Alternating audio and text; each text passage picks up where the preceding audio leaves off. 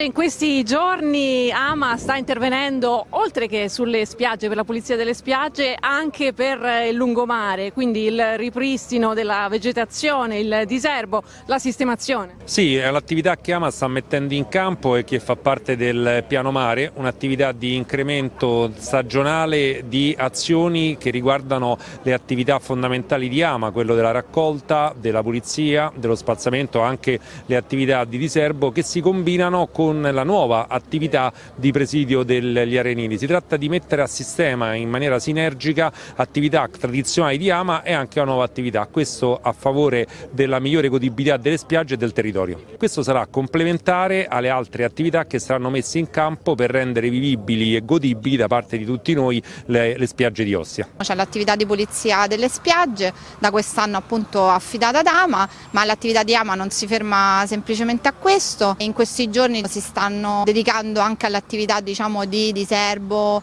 eh, del lungomare unitamente alle ditte incaricate dal municipio. Una serie di interventi quindi per la messa in sicurezza del lungomare con la manutenzione del verde? È un'attività di messa in sicurezza perché le aiuole diciamo, dello spartitraffico centrale erano diventate ormai troppo grandi, chiaramente è sia un discorso di sicurezza sia un discorso di decoro per prepararci al meglio alla stagione estiva e parallelamente diciamo, al termine della parte centrale avverrà tutta un'attività di manutenzione della parte laterale, quindi i cosiddetti giardini storici, per proprio proseguire verso, verso il centro. E parallelamente nell'entroterra ci sono delle ditte che si stanno occupando eh, della manutenzione diciamo, dei parchi principali, quindi sfalcio dell'erba che anche con questo tempo ha raggiunto veramente altezze importanti, quindi stiamo intervenendo anche su tutto l'entroterra.